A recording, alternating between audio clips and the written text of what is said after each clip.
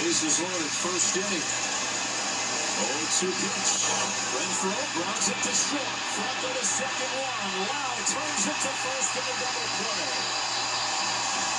Two score, but Boston had a chance for more.